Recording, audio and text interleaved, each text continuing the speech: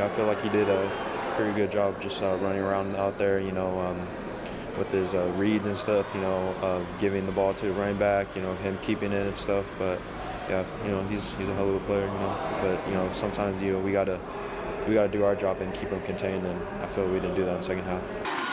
And on fourth down, he's going to throw it for the end zone, and really, he's going to complete it to Hasaan Henderson. You know, we do got a lot of guys banged up, but you know, uh, that's um, somebody has to step up. You know, um, Coach Clune always says that you know, you when your time comes, you know, you, you got to step up.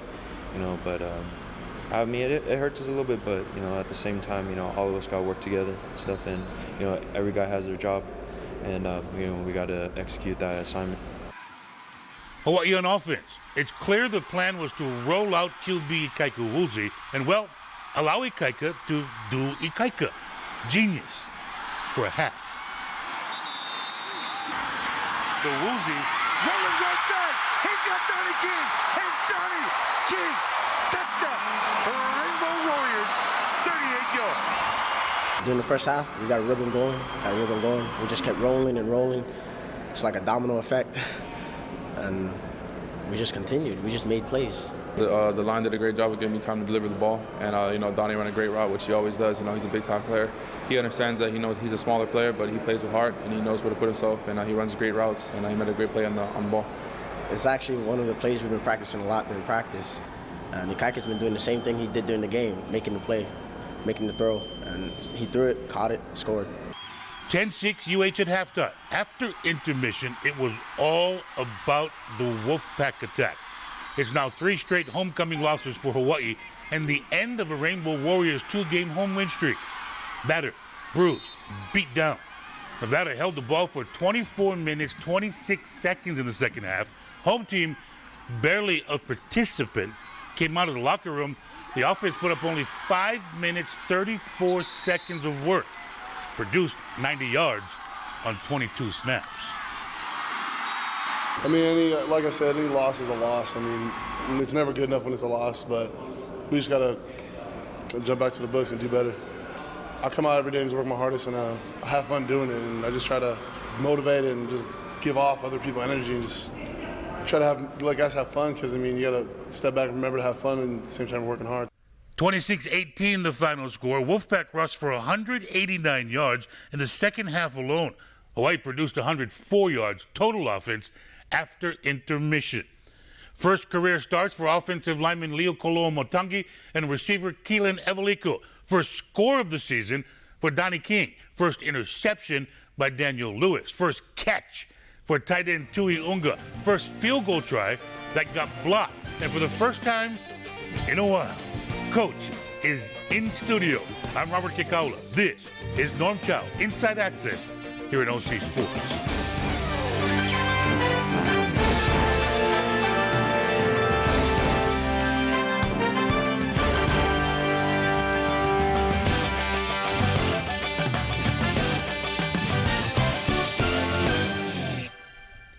I want to welcome head coach, University of Hawaii football team, Norm Chow. Coach, I don't know. I've never seen such a difference in numbers, time of possession. 24 26 in the second half for Nevada. Your offense barely broke a sweat in the second half, 534. You know, I, have been doing it a long time as well, Robert, and I've never seen it this way. Never saw it like it was last night. You know, the offense didn't help because they were three and out a couple times, and obviously our defense was struggling to, to to get out, get off the field, and it, it was unlike. And I, like I said, I've been doing it for a while as, as well, and never never seen it like this. Up until this game of the season, I didn't think people could run against your defense the way Nevada did last night. I didn't either. Again, I don't know if our front seven played as well as they've been playing. It's a good, proud bunch, and I'm sure we'll get it back, but I don't think we played as well against the run as we usually do. Let's talk about your quarterback sophomore Ikaika Woolsey, he's taken some verbal punishment from people who jump on and off the bandwagon, and he struggled, admittedly. I thought the second half against Wyoming, eight for nine, 173 yards, aberration. That's like that's the one. It's dream sequence if you're a quarterback. First half against Nevada, I thought may have been his most complete half of football. I, I think he's grown up, I th- and I think you're right because he, we we talk quite a bit about. You know, he's the quarterback. He's our guy, and he needs to have better body language. He needs to be more productive, and I thought he was. I thought he was the first half. I thought we could, if we could continue that on, we'd have had a good shot at it. Now, you come out with a game plan. Was it by design that you're going to roll him out and let him try and extend a few plays? Yeah, you know, because he's such an athletic guy. He's he, he's not obviously he's not uh, Cody Fajardo, but I think someday he will be like that, and and he does have to use his skills. And you know, we're a little concerned about the protections because they had a you know a couple of pretty good rush uh, rush rush people hecking 53 and 55. So it was it, we wanted to come out and kind of mix things up a little bit. We needed to run the ball, which I thought we did in the first half, and I thought he threw the ball very well. He hit Scott Harding there, had the touchdown pass we talked about in the opening to Donnie King, and he found receivers to the left side, in the middle of the field, short, deep. That's why I thought it was his probably most complete half.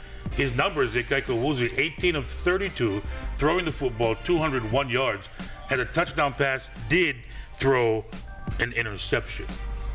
Our offensive line was doing a great job of getting pushed, you know, and uh, Stephen Lakalaka and uh, Diocemy Saint Juste, they do they do a great job of you know just uh, hitting those holes hard and uh, getting positive yards. So anytime we get you know four or five yards on a, on a run on a run game, you know it's definitely positive for us and uh, sets up a, really a second and short, which is uh, very easy for us to convert. So you know we just we just didn't do that in the second half, and we need to do better.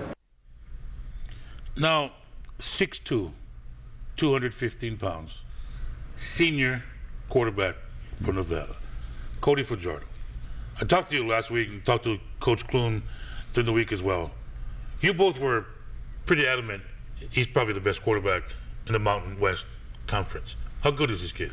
Oh, he's such a talented young man. I, I you know, I, we say that. I don't know about much about the Boise quarterback because we don't play them, but Cody's been doing it for for a year or two now. He's experienced. He can run. He's a good thrower. He knows what to do with the ball. You could see him directing traffic. I, I, he was changing up plays and all that kind of stuff at the line of scrimmage because he saw what was going on. He's a very, very effective leader, and that's what quarterbacks have to be. So Cody Fajardo against the University of Hawaii at Aloha Stadium. Sometimes a wild and crazy play makes a big statement in a football game. Pick up a one. Fajardo looking to clear. He's flushed out of the pocket. And Fajardo's dancing like he's Johnny Dancer. And still go. Fajardo turns the corner. little bit of a backbreaker because he turns his play around, flips it, turns the corner, and he gets a first down. Yeah, I, I believe it was a third down. I think it was third and eight call. Uh, we, you know, we missed a couple of tackles, obviously, and you know, I know we had, Kevin had a guy on him most of the time, was kind of spying on him, but he's a very talented guy, no question about it. I thought it was heads up by this guy, Cody Fajardo. 17 of 26 throwing the football, 128 yards in the air, 133 yards on the ground, and part of three touchdowns, two rushing, and the touchdown pass. Now, I thought late in the game, it's a senior, mature, understands the game. He was not going to let himself run out of bounds. He was sliding way before the hash mark Sure. to keep the clock ticking. Sure. You know, the greatest thing about that young man, I got to know him a little bit. He's a heck of a person as well. Now, this football game, let me ask you about coaching philosophy. Hmm. End of the first half. Hawaii gets the ball back. 46 seconds left on the clock. Rainbow Warriors have three timeouts left. The unfortunate thing happened. I mean, it, it was pretty obvious you're trying to run the ball. Let's get into the locker room. We, we, we got a good lead. You're thinking, No, not really. There were a couple things that went into making those decisions. First of all, if we were able to run it and get down where we could throw it around, we'd be okay. What we didn't want to do, what people didn't, don't, I'm not sure people realize is Scotty was hurt, and we did not want to have to punt the ball.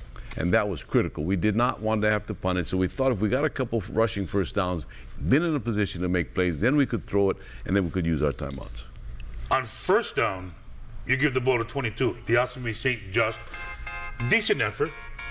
On second down, you get a better effort from 22 than disaster on the back end. He gets the ball stripped by Charles Garrett. Yep. Yep. And That- like, wow. Wow, because that's the worst thing that could have happened in that draft. Had we we made that first down, and we were planning on, on, on really taking a couple shots to see whether we could get it done. Fortunately, our defense stood up and, and made the plays, and nothing happened from there. So if you get that touchdown, I mean, that, that first down, what, you were going to use a timeout then? We were gonna, well, we Yeah. were going to be very aggressive in playing offensive football. It changes everything. It changes the whole deal. The understanding of the Scott Harding changes everything philosophically. Every, everything we're talking about because you know Chris said, "Hey, let, let, us just take a knee and get out of here," but we didn't want to have to punt because they were going to use their timeouts. I think they had one or two left, and then so we just made that decision, and it worked out. If he had hung on to football, We're going to talk about the second half. We're going to talk about what transpired after the break, Hawaii versus Nevada. This is Norm Chow, Inside Access here in OC Sports.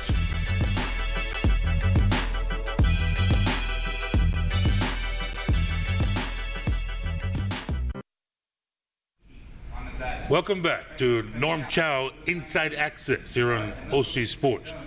After leading 10 0, Hawaii goes into the locker room for the halftime break, still ahead of Nevada, 10 to 6. And this is what goes on in a locker room. Every coach has their unit, their group in position, try to make halftime adjustments, let them know what's going on, what the plan is when they go back on the football field. That's Jordan Wynn. He calls, uh, works the quarterback, calls the plays for you. Second half, though, did not. I mean, it changes everything when the offense doesn't touch the ball. The uh, defense did a good job of stopping them, you know, holding to a field goal out of the half, and uh, you know we went three and out. We can't do that, you know, when the defense is out there for you know so long and sustaining drives, you know, they're, they're constantly pursuing all night, and that's something that you know gets them very tired. So we we need to do a better job, like I said, of just sustaining drives, keeping our defense off the field, and as an offense, that's our job to keep them off the field. When we came out, we were kind of sluggish, but then as you can see towards the ending, we picked it up. But we just got to pick it up earlier. We just got to come out firing. Um, you know, we just left the defense out there for a little bit too long. And it was just here and there, like s- just a small thing like usual. I mean, like the interception, just a mishap like that, just shoves us off, and then their offense takes control and they just run the ball, run the ball, run the ball, and just burns clock, and it really hurt us in the second half. Uh, it, it burns clock. And I, I guess, for lack of a better term, you can basically call it keep away. Mm-hmm. That's what Nevada did in the second half. Your offense touches the ball five and a half minutes. It's tough to find a rhythm. It's tough to get into the flow of a game for an entire offense. Uh, You have to give him credit, uh, especially Cody, for doing that. It's, it's, it was a fun college football game because of the momentum shifts and because of the field position battles and all that kind of stuff. And we just obviously wish it had turned out differently. But it's classic. That's how the NFL, every NFL game is played every Sunday. The big blow will probably be a 19 play drive that covers 85 yards, and then they score on the back end with a touchdown pass. That followed up a 14 play drive and an 11 play drive. I mean, what goes through a head coach's head when you don't, there's no chance you get the football? Uh, well, you just keep looking at that clock. That third quarter went by so quickly. Um, um, you know, those drives are okay if they're finished. You know, we had one I think was 13, but we had our field goal blocked. You know, you have to finish those drives with three or seven to make it all worthwhile. And Are those the types of drives that you take a pin and stick it in that balloon and let the hot air out and you can pop somebody's bubble? Yeah, of course it does. It, it, it, it, the, the, the mood on the sidelines, you know, hey, we got to get back on the field, and the other defensive guys are saying, come on, let's stop them. It sure does. And it's nice when you can be on the other side of that, and I'm sure they felt good about it as well. No, I know when you watch the tape, head coaches are head coaches. What's going to jump out are opportunities missed again. Six or seven drop passes, like flat out drop passes. Does that disturb you at this point? Well, there were six, Robert, because I, count them. And I, I, what, what's disturbing to me is because of Ikaika's physical situation, he's not able to, to practice like we want him to practice. Then all of a sudden he gets in the game, the adrenaline starts flowing, and he's throwing 95 mile an hour fastballs. And he can't do that because they're not used to seeing those in practice. So, yes, we need to catch him, but uh, it's not always the receiver's fault. So late in the game, the offense, when they did get a touch late, it has to be somewhat satisfying that there was no give up. You come back on the field, your offense marches down the field. Steven Lakalaka gets into the end zone, gets a touchdown late. has an excellent two-minute drill drive. Then you go for two points, and you get Ikaika Woolsey hitting Quinton Pedroza in the corner, and all of a sudden, it's a one-score game if you get another touchdown and a two-point conversion again. Well, and we, we need, you know, we had, we tried that onside kick. We had used our timeouts to try to get the ball back, but you know, I love that about our players. We never quit. I, I love it about them. They work hard. They try to do the best they can do. We're still fighting right at the end. Even though the defense had given up those, those the, the time, they were fighting like heck as well. Final statistics Wolfpack versus the Rainbow Warriors at Aloha Stadium. 26 16, the first down differential. The big number 299 yards rushing by Nevada, 102 yards for Hawaii. Third down conversions, coach. I, I know that's the one that gets you. It's 10 for 20 for Nevada, 4 for 13 for the University of Hawaii. And time of possession, I don't want to talk about that anymore. That's Let's right, go to our super cuts, cuts that rock as we go to break. We're going to give it to the guy that wears jersey number 92, Hawaii defensive lineman Boyet recorded the only sack of the game for Hawaii. He got to quarterback Cody Fajardo. Norm Chow, Inside Access, returns after this.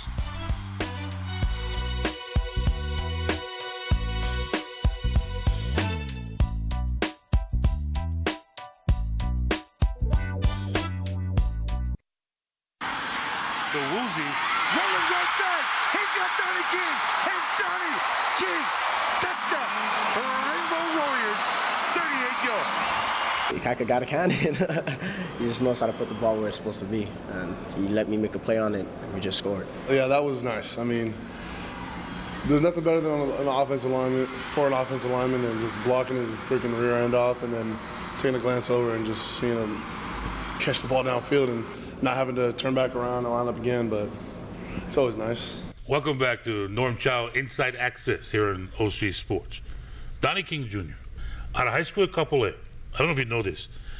He gets recruited full scholarship, Army and Navy. I Full ride. that. I didn't know that. 3.8 grade point average. Decides, I want to wear green and white. Walks on. You got to feel. Take the wins and losses out of the equation. When you think about these young men, you got to feel good for a kid like that. Uh, unbelievable. And, and and those are the memories that we'll cherish as the years go on. You know, he used to take a bus in from Kapolei because he couldn't afford to pay the rent uh, in this in, in town close to school.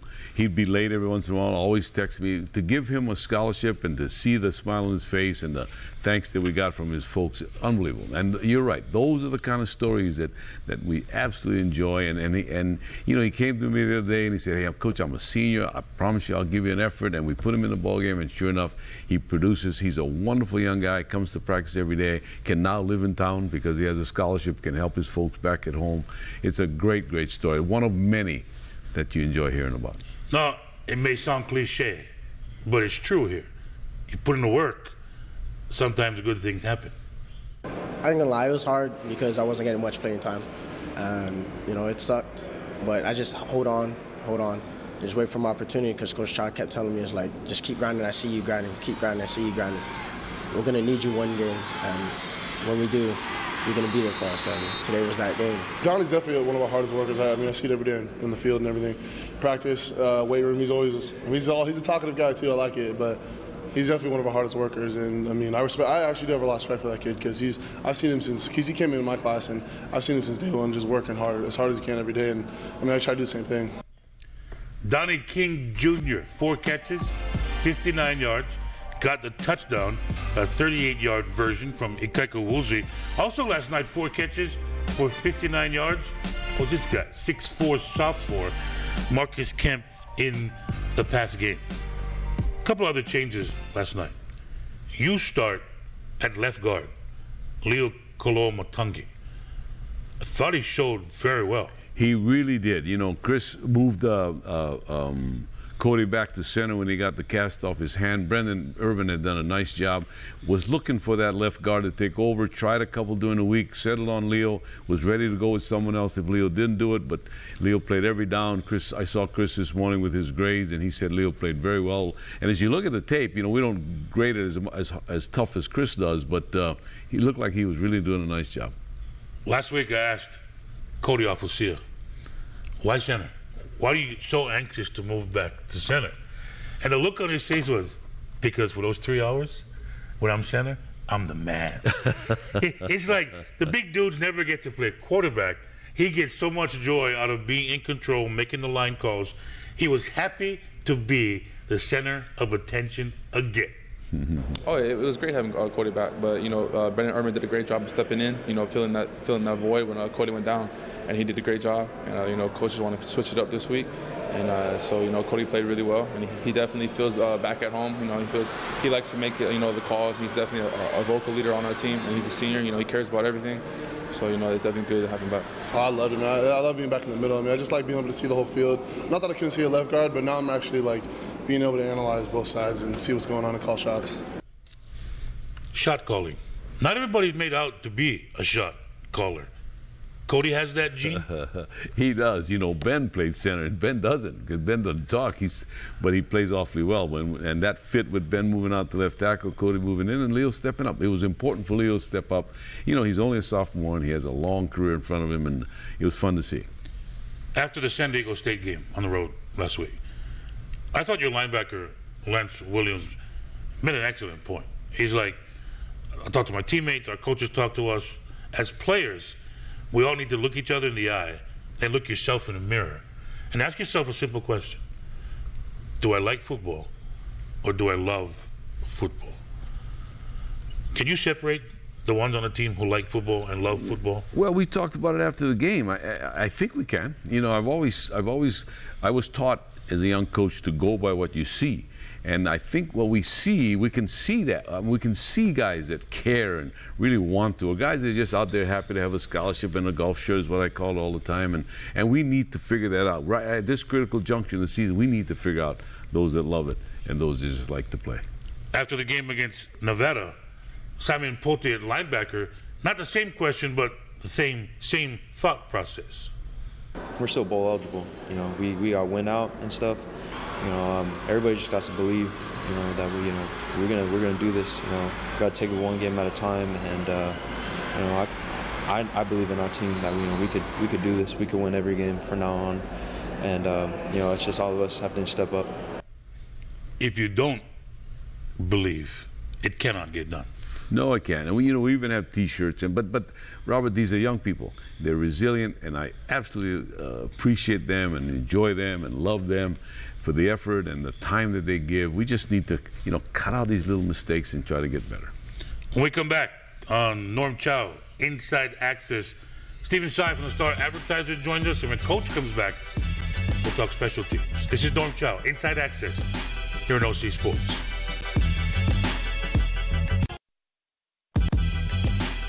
Welcome back to Norm Chow, Inside Access, here on OC Sports.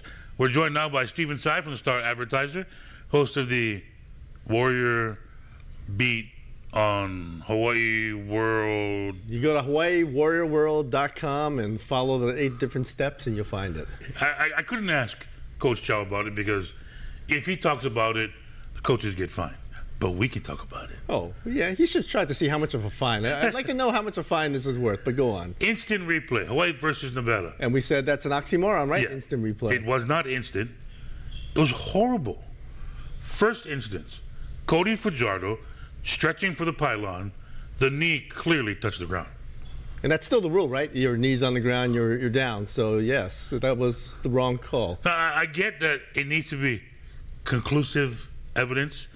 When his knee hits the ground and your body gyrates off the impact and the ball is still yet to get to the goal line, it's not a touchdown. No. I mean, the gyration proves that. Second instance, Matt Gallis, their center, catches a deflected pass in the end zone for a touchdown. That's a great catch by a center. They ruled it not touchdown. First, I didn't know that was legal, but now that I know that was legal, it should have been a catch because that was just a great catch. And he, look at that. It's a, Look, he got Clearly. the hands under and pulled the ball to his gut. Did you get to talk to, bump into, spend time with Nick Rolovich, Yeah. offensive coordinator for the Wolfpack? And I wanted him to feel love, so when he was coming off the field, I, I did give him a little boo. He was kind of stunned because everyone was giving him love all week, and I thought change it up. But then he came over and he, you know, he was very nice as always. Great guy. Former UH quarterback coach, former UH offensive coordinator, former UH quarterback Right. under June Jones as head coach. Cody Fajardo. What more can you say? kid dominated the game by himself. Right, and he is a lot faster than people think. He could get to the outside, and he does that little tricky thing where he's kind of on the sideline. So if you were gonna look like you're gonna hit him, he kind of step out bounds. So nobody could really go full on and hit him. But in the backfield, nobody could catch him. He's just great elusive guy, and which made up for his very average passing. You went to visit that dark, lonely place, affectionately known as the pit. What's the pit? The pit is where injured players um, get abused, and that's. Uh, I think the, the idea of the whole thing is that um, if you're hurt, uh, well, you can still do things to work on your your your rehab and things like that. And and a lot of times people complain that um, being in the pit, that's the rehab area next to the practice field, is sometimes worse than practicing. It's it's very strenuous. So here's Size Matters this week. Stephen Tsai entering the dark side. How do you design some of these things? There's pretty interesting um, tools you have out there. Oh, you know, it's it's cool. We got a lot of stuff, a lot of funky toys out there. And you know, when I was an athlete, we had a pit at Florida, so there's some stuff I went through that I brought back here. And then there's just stuff that we kind of make up as we go. We experiment. Sometimes our players kind of help us. They tell us, "Ooh, that's that would be really hard if we did that," and then they're kind of regret saying it, and then we use it on other dudes. So it sounds like you can take anything and turn it into a rehab thing, like a wheelchair, big yeah. ropes. Oh yeah, ropes, wheelchairs, that bench over there we've used before, tires, towels, um, the players, even themselves doing manual resisted stuff. So we just need kind of stuff from a junkyard and we're good to go. The hardest drill probably just pulling the sleds. I do. You can't you can't beat the sled. There's no way around it, you know. So they just load it up and I just that's what I do for the whole hour and you know I guess the whole hour and 15 minutes that we're out here. So that's probably the hardest part. So every day is really a, a hard work day on my legs. So which is good though. I have plenty of time to recover.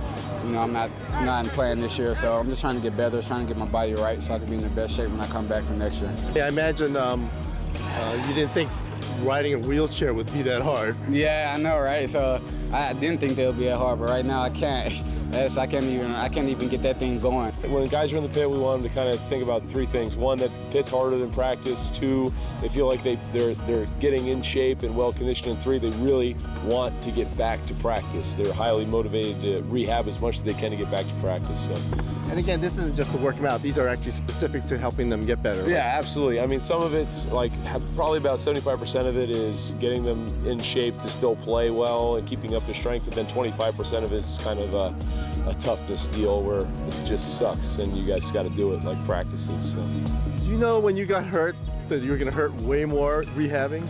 I knew what the pit was like, you know, uh, but it's great though coming out here every day working on my lower body. Uh, one of my goals was for this year was to be lighter and be more faster. So it's just, you know, everything happens for a reason. So it's just, it's just working out. I'm getting faster, I'm getting better, I'm getting stronger lower body. So everything's been going great. The toughest part is just sitting down and watching the whole time. Just I don't know, I think I'm on week eight of just being out here and just watching them practice and not being able to practice and playing the game and being able to catch a ball. That's probably the hardest part. Down here working hard, really, you know, I, that's just working hard. It's just every day. The pit's designed to just allow the athlete to put in a good day's work.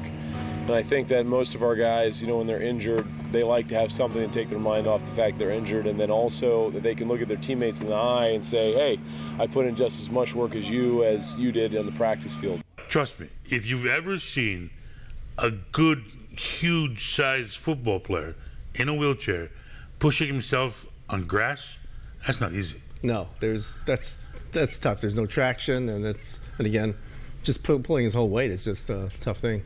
Next week, Hawaii versus Utah State will be rejoined by Stephen Tsai from the Star Advertiser. What's the address again? Hawaii, we're I can't even say. HawaiiWarriorWorld.com. Look up on um, you know links or whatever. well, thank you for joining us this week. Be back with Coach on Norm Chow Inside Access here on OC Sports.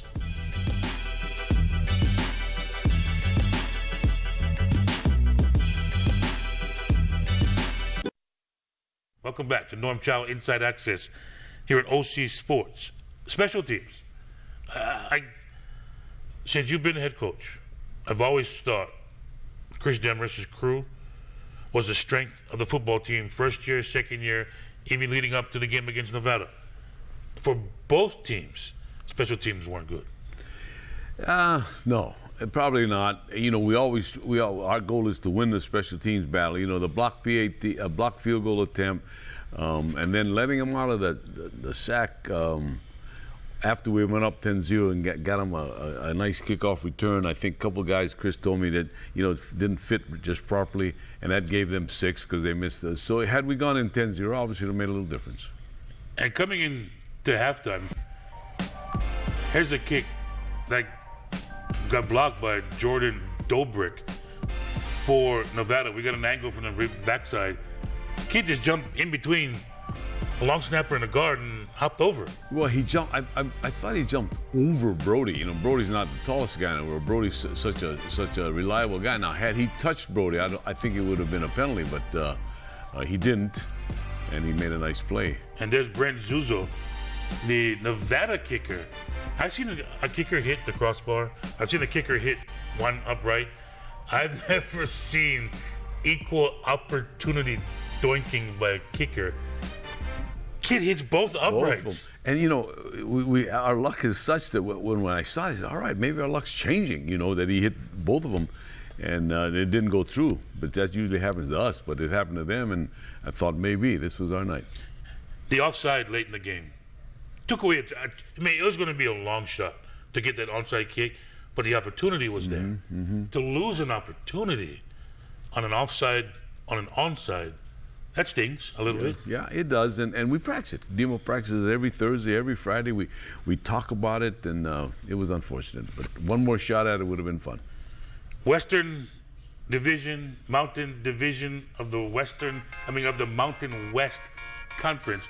In the West, it's San Diego State on top at three and one, followed by the Spartans, the Wolfpack, Fresno State at two and two, Hawaii one and two, UNLV at one and three. In the Mountain Division of the MWC, Colorado State, Boise State, both three and one. Then it's Utah State, Air Force, Wyoming, and New Mexico. The schedule for the University of Hawaii moving forward after the game against Nevada. There's the beginning of the season. That first half of the season ended with a loss 20 to 10 at San Diego State. On the next page, we see the start of the second half of the season. Hawaii losing 26-18 to the Wolfpack. Up next is the Aggies of Utah State. You hate to see injuries just tear up a young man, but Utah State lost their quarterback, their second of the season. So they're coming in with a third string quarterback. They are coming in with a third string quarterback. Obviously, Kevin knows them quite well. They know us quite well. It'll be a fun game. It'll be a game we're all looking forward to. Just like Donnie said, we have 48 hours to mourn and feel sorry for ourselves. That ends tomorrow. We're going to go to work and we're going to see what we can get done. Of course, Kevin is Kevin Clune, Hawaii defensive coordinator, yes. was linebackers coach with the Aggies just last season. That's right. Before I let you go, I'd be remiss if I didn't ask. Wife Diane, much better?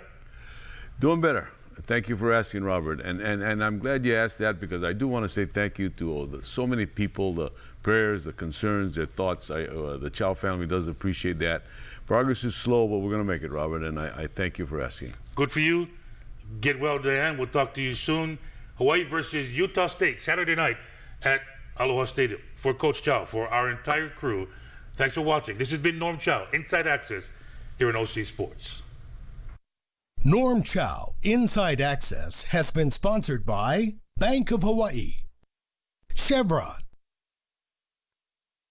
and Hawaii Honda Dealers. At home. Norm Chow Inside Access is sponsored by Bank of Hawaii, Chevron, and Hawaii Honda Dealers.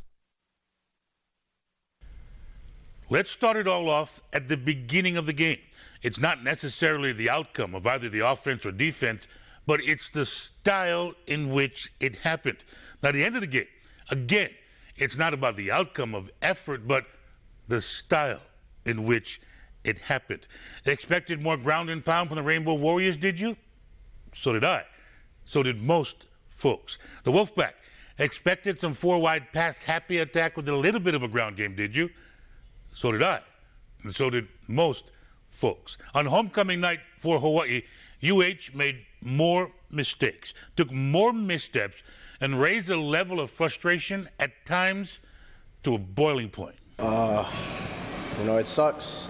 We still got five more to win five, so we're just going to keep grinding. But as far as this game goes, we have a 48 hour rule. You know, think about it, reflect, and after 48 hours, you're going to just look on to the next. loss is never easy to take, and just uh, not having the ball that second half really was crucial, and us not taking advantage of those first couple drives we had in the second half was huge, and can't be doing that. We got to score when we get the chance. Yeah, it's, it's frustrating. You know, anytime in this game, it's frustrating, especially you know, offense coming you know uh, out in the first half really well. You know, going up 10-0, and defense playing really well. But uh, like I said before, I felt like we definitely came out really flat in the second half. You know, it didn't seem like we had a lot of energy. You know, I take full responsibility for that. You know, I need to do a better job of just you know keep my offense up. You know, so we just got to work work on you know finishing games and uh, just sustaining drives and keeping our defense off the field. Obviously, we didn't come out with the, the win, but you know, you know, it's something we got to do uh, every weekend, week out. We got to you know come back stronger and learn from our mistakes. Now, it's not so much the outcome that provided, for lack of a better term, shock value but it's the way in which it happened. Said Rainbow Warriors linebacker Simon Pote after the game, quote, we got punched in the face and we didn't punch back, end quote. Nevaditude. It came with a smash ball offense led by a quarterback in total control.